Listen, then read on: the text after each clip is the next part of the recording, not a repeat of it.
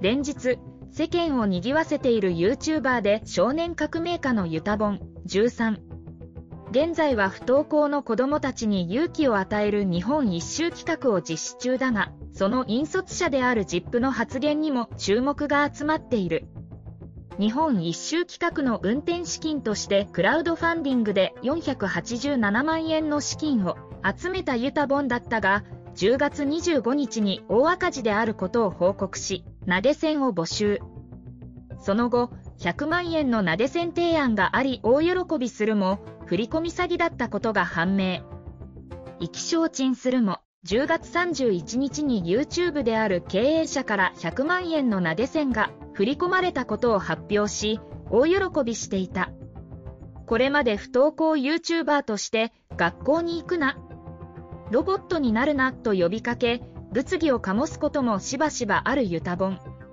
9月29日公開の動画で、台風15号の被害に遭っていた三重県を訪れ、台風15号がなんぼのもんじゃいおら、などと話し、批判が殺到したことも記憶に新しい。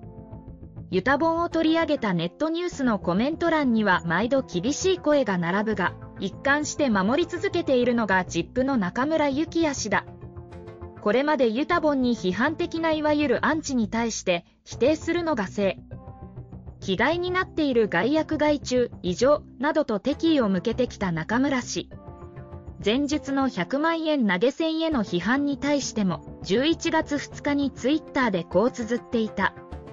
ユタボンが100万円投げ銭してもらったことを批判してるやつのツイート見に行ったらプレゼント企画みたいな検証ツイートを必死に RT している奴らばかりで笑ったわ。匿名で批判してるアンチのほとんどが何も挑戦せずに嫉妬してるだけ。お前らが嫉妬するのは勝手だけど、挑戦してる子供の足を引っ張んなや。そんな中村氏は11月3日、世界の中で日本だけがマスクを着用しているという趣旨のネットニュースを引用し、ツイッター上で好持論を展開した。日本人には奴隷根性が染みついている。奴隷根性とは自律的に規則に従うのではなく、多律的に有力者の命令に従うこと。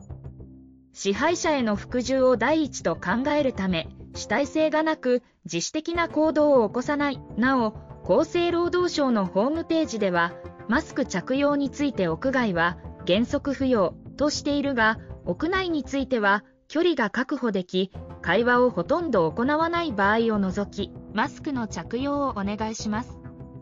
場面に応じた適切なマスクの着脱をお願いします。と、している。